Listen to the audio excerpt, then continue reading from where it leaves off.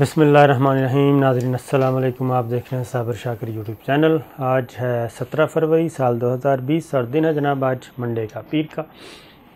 تین چار خبریں ہیں امپورٹنٹ ہیں، اچھی اچھی ہیں۔ اور کچھ پہلے بھی آپ ہم نے ایک دو خبریں آپ سے شیئر کی تھیں۔ لیکن ایک تو ہے جناب احسان اللہ احسان۔ طالبان کے ترجمان، ان کو گرفتار کیا گیا تھا اور انہوں نے بہت زیادہ انکشافات کیے تھے، آپ کو پتہ ہی ہے۔ اور ان کے ویڈیو بیانات بھی منظر عام پہ آئے تھے گرفتاری کے دوران جو انہوں نے دیے تھے، جس میں انہوں نے پاک، بھارت جو کچھ پاکستان کو غیر مستحکم کرنے کے لیے کر رہا تھا، اس کے بارے میں بھی انکشافات کیے تھے۔ اور کلبھوشن نیٹ ورک کے بارے میں بہت کچھ بتایا تھا۔ غیر ملکی جو مداخلت ہے اور جو را پاکستان میں کر رہی تھی دہشت گردی کے منصوبے، اس کے بارے میں بتایا تھا اور بہت ساری چیزیں انہوں نے ریکارڈ کروائی تھی لیکن پھر ایک دن یہ خبر آئی کہ یہ فرار ہو گئے ہیں اور فرار ایسے ہوئے کہ انہوں نے خود اپنا ایک ویڈیو سٹیٹمنٹ جاری کیا، جس میں انہوں نے پھر افواج پاکستان کے بارے میں آل فال باتیں کی تھیں اور انہوں نے کہا تھا کہ میں بہت زیادہ انکشافات کروں گا، لیکن ابھی تک تو کوئی انکشافات دوبارہ منظر عام پہ نہیں آ سکے۔ تو ہم نے آپ کو کہا تھا کہ یہ اس طرح سے چیزیں نہیں ہوتی جیسا کہ بیان کی جا رہی ہیں۔ ریاستی امور اور جو ہیں اور ریاستی افیئرز اور نیشنل سیکورٹی کے معاملات اتنے کمزور نہیں ہوتے کہ جناب اس طرح کا جب چاہے، جو چاہے کہہ دے اور جو چاہے ہو جائے۔ یعنی پھر سوشل میڈیا پہ بھی بہت زیادہ لے دے کی گئی۔ خاص طور پہ جو لبرلز ہیں، جو کوئی بھی موقع ہاتھ سے جانے نہیں دیتے کہ جناب کیا ہوا، کیسے ہوا، کس نے فرار کروایا، مذاق اڑایا جا رہا تھا۔ لیکن آج وفاقی وزیر داخلہ میدان میں آئے ہیں جناب۔ انہوں نے کہا ہے کہ بالکل احسان اللہ احسان کا معاملہ ہے ہماری نظر میں، ہم دیکھ رہے ہیں۔ اور اس کے بعد ایک ملاقات بھی ہوئی تھی وزیر اعظم عمران خان کی۔ ایک ذمہ دار، اعلیٰ حکام، ذمہ دار اتھارٹی کے ساتھ اسی مسئلے پہ کہ یہ نہیں ہونا چاہیے تھا، یہ کیسے ہو گیا۔ تو خیر، لگے ہوئے تھے۔ اور اب آج وفاقی وزیر داخلہ اعجاز شاہ صاحب نے یہ کہا ہے کہ جناب احسان اللہ، احسان کے بارے میں بہت جلد آپ کو خوشخبری ملے گی۔ تو اب آپ خود اندازہ لگا لیں۔ کیونکہ یہ ہوتا نہیں ہے اس طرح سے۔ اور ریاستی امور نیشنل سیکورٹی کے ایشوز قومی سلامتی کے امور، یہ اس طرح سے نہیں ہوتے جس طرح سے نظر آ رہے ہوتے ہیں۔ بعض دفعہ بہت کچھ کرنا پڑتا ہے، بعض دفعہ بیک بیک فٹ پہ بھی جانا پڑتا ہے۔ بعض دفعہ اپنے سر الزامات بھی لینا پڑتے ہیں، بعض دفعہ خاموشی بھی اختیار کرنا پڑتی ہے۔ اور دیکھا جاتا ہے کہ پلس کیا چل رہی ہے۔ اور یہ ایک کیا کہنا چاہیے؟ حساس اداروں کی جو ورکنگ ہوتی ہے، ان کو سمجھنا کافی مشکل ہوتا ہے۔ تو یہ پوری دنیا بھر میں اس طرح ہوتا ہے۔ اور کبھی کبھار ایسے لگتا ہے کہ خبر آتی ہے کہ جناب ایسے لگتا ہے کہ جیسے قومی سلامتی کے جو ادارے ہیں، وہ تو سوئے ہوئے تھے۔ اور ان کو تو پتہ ہی نہیں اور یہ راتوں رات کیا ہو گیا؟ حالانکہ وہ سوئے ہوئے نہیں ہوتے۔ وہ جاگنے کے باوجود اپنے آپ کو محسوس کرواتے ہیں کہ وہ سوئے ہوئے تھے۔ تو یہ میں اشاروں کے ناموں میں بات کر رہا ہوں۔ تو لیکن یہ ہے کہ احسان اللہ احسان کے بارے میں ہم نے پہلے بھی کہا تھا اور اسی خبر کی آج کم و بیش تصدیق بھی ہوئی ہے کہ اس طرح سے نہیں ہے جیسا کہ بیان کیا گیا۔ اس کے بعد پھر اس کی کوئی ویڈیو اسٹیٹمنٹ بھی نہیں آئی، اس کی کوئی پریزنس بھی نہیں ہوئی احسان اللہ احسان کی۔ تو یہ بھی ایک حیرانی ہے جبکہ ہمارے قومی سلامتی کے جو ادارے ہیں، ان کے پاس ان احسان اللہ احسان کی ویڈیو ریکارڈنگ کی اتنی، اتنا زیادہ مواد موجود ہے کہ وہ اس پہ پوری فلم بن سکتی ہے۔ کئی گھنٹوں پہ مشتمل پوری فلم بن سکتی ہے اور اس کے ویڈیو سٹیٹمنٹ سے کئی کئی فلمیں بن سکتی ہیں۔ تہلقہ خیز فلمیں، کہ انٹیلیجنس ادارے، ایجنسیز، دنیا بھر میں کیسے ایک دوسرے ملک میں کام کرتی ہیں اور کیسے ورکنگ ہوتی ہے ان کی۔ اور نظر کچھ آتا ہے، ہوتا کچھ ہے۔ تو لہٰذا یہ ہمارے خبر کی تصدیق تھی ایک طرح سے۔ اور آج اعجاز شاہ نے جو کہا ہے، وزیر داخلہ نے، کہ جناب بہت جلد آپ خوشخبری ملے گی۔ تو اس سے آپ اندازہ کر سکتے ہیں کہ کیا ہوگا۔ اس پہ ہم اس سے زیادہ نہیں مطلب کشائی کریں گے۔ دیکھیے آگے آگے کہ کیا ہوتا ہے۔ ایک چیز جناب، دوسری ایک اور خبر ہمارے پاس وہ ہے انڈیا کے حوالے سے۔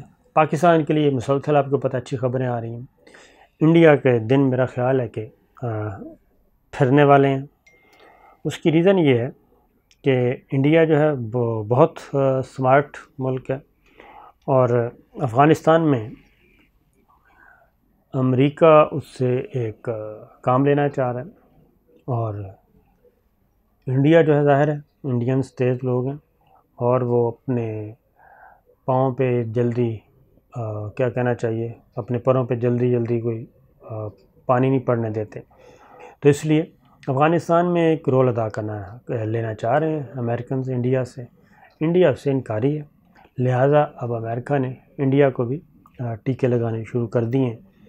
اور اس کا یہ پہلا جو ٹیکہ ہے وہ ہے کہ جناب، بھارت کے ساتھ جو تجارت، تجارتی میدان میں کچھ رعایتیں دی ہوئی تھیں بھارت کو۔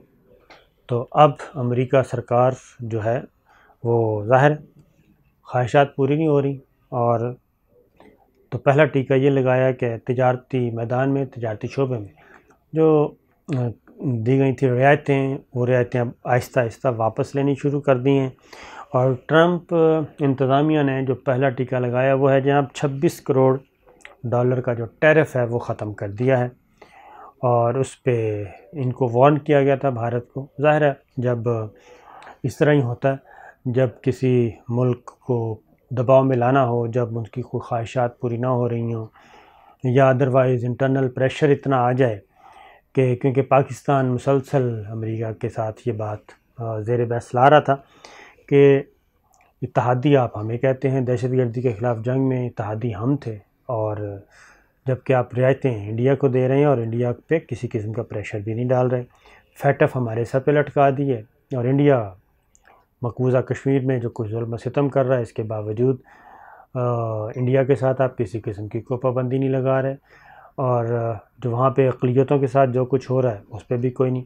تو لہٰذا چھبیس کروڑ روپے، چھبیس کروڑ ڈالر کا جناب یہ پہلا ٹیکہ لگایا، ٹیرف ختم کر دیا گیا ہے۔ بھارت کو ترجیحی ممالک کی فہرست سے نکال دیا گیا ہے۔ اور اب بھارت جو ہے، وہ G S P G S plus کا جو سٹیٹس ہے، وہ نہیں لے سکے گا۔ اور اس سے جو جو رعایتیں اس کو حاصل تھیں، وہ نہیں ہو سکیں گی۔ اس پہ بھارت کافی سیکھ پائے۔ اور یہ ایسے وقت میں ہے کہ ایک طرف بھارت کے ساتھ جو ترجیحی تھے امتیازی سلوک، امتیازی مین ان پازیٹیو سینس کہ ان کے ساتھ خصوصی جو سلوک اختیار کیا جاتا تھا، خصوصی درجے دیے جا رہے تھے، اب وہ واپس ہونا شروع ہو گئے ہیں، جبکہ دوسری جانب پاکستان کو رعایتیں ملنا شروع ہو گئی ہیں اور پاکستان کے پلس پوائنٹس میں اضافہ ہونا شروع ہو رہا ہے۔ اقوام متحدہ کے سیکٹری جنرل آپ کو پتہ ہے، پاکستان کے وزٹ پہ ہیں۔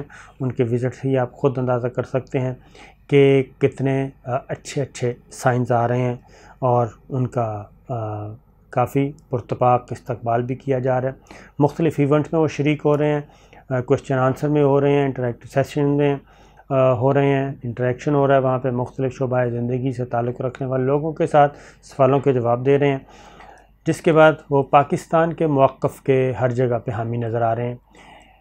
پہلے بھی آپ کو بتایا تھا، آج بھی جو ان کے مصروفیات تھیں، جو سوالات پوچھے گئے، بلکہ بہت تلخ سوالات تھے ان سے پوچھے گئے، لیکن انہوں نے کہا کہ نہیں پوچھنے چاہیے، ان کا پھر انہوں نے جواب دیا۔ کشمیر پہ ایک بار پھر انہوں نے مقبوضہ کشمیر کے معاملے میں پاکستان کے موقف کی حمایت کی ہے۔ انسانی حقوق کی خلاف ورزیوں پہ انہوں نے آج پھر آواز اٹھائی ہے اور انہوں نے کہا کہ اس میں کوئی شک نہیں ہونا چاہیے۔ دوسری جانب پاکستان کو ایک ابھرتا ہوا ایک ملک قرار دیا ہے، پاکستان کو پرامن ملک قرار دیا ہے۔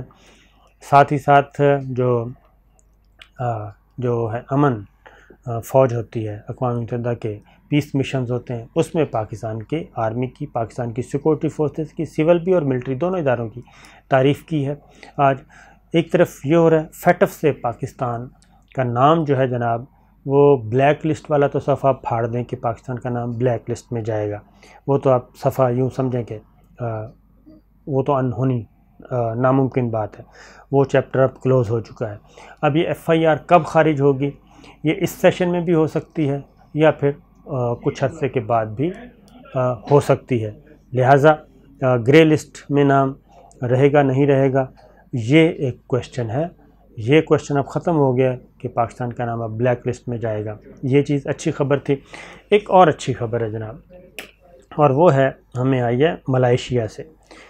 ملائیشیا سے اس طرح سے کہ آپ کو پتہ ہے کہ وزیر اعظم عمران خان ملائیشیا کا وزٹ کیا تھا۔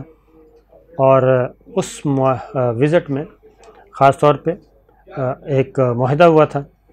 میں نے آپ کو بتایا تھا کہ اوورسیز پاکستانیز کے لیے اپنی افرادی قوت کھپانے کے لیے پاکستان جو ہے وہ دوسرے ممالک، غیر عرب ممالک کی طرف دیکھ رہا ہے اور تاکہ پاکستان کے جو ہنرمند اور غیر ہنرمند لوگ باہر جا کے جو زر مبادلہ محنت کرتے ہیں، مزدوری کرتے ہیں، کام کرتے ہیں اور زر مبادلہ بھیجتے ہیں۔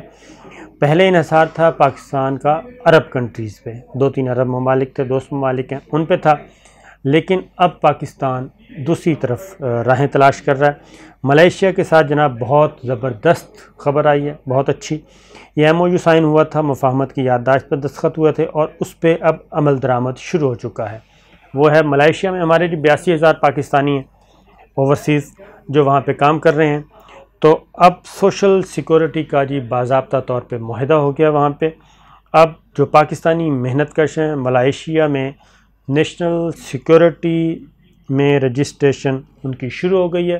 ان کو سوشل سیکورٹی رجسٹریشن ہوگی، ان کو نمبر الاٹ کیے جائیں گے اور سوشل سیکورٹی کے تحت ان کو بہت سارے سیاسی آئینی اور قانونی حقوق حاصل ہوں گے اور اس میں ان کو زخمی ہونے کی صورت میں ان کا ان کی سیکورٹی ہوگی، انتقال کی صورت میں جناب، تاحیات وظیفہ ملے گا ملائیشیا کے۔